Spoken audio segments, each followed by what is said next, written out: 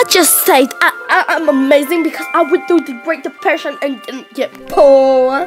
Yes, yes, this is true. This is really true. Listen up. Don't go through a Great Depression without root beer like me.